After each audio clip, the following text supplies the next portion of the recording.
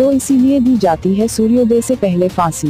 दोस्तों, जैसा कि आप सभी जानते हैं कि हमारे देश में किसी के द्वारा जुर्म करने पर उसे फांसी की सजा सुना दी जाती है।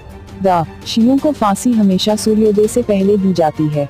दोस्तों, आज हम आपके साथ इस पोस्ट के माध्यम से यह जानकारी शेयर करेंगे कि दोषी को फांसी की सजा सूर्योदय से पहले क्यों दी जाती है।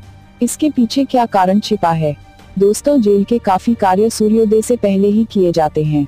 इस दौरान फांसी की सजा सुनाए गए व्यक्ति को सूर्योदय से पहले ही फांसी दे दी जाती है, ताकि जेल के अन्य कामों में किसी तरह की कोई रुकावट न आए।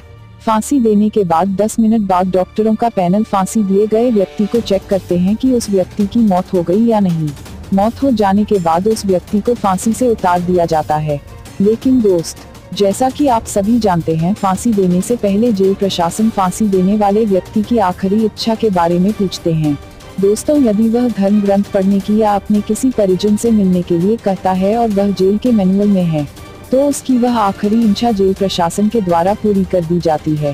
फांसी देने वाला जल्लाद यह बोलता है कि मुझे माफ़ करना, हिंदू भाइयों को राम राम, मुसलमान भाइयों को सलाम, हम क्या कर सकते हैं?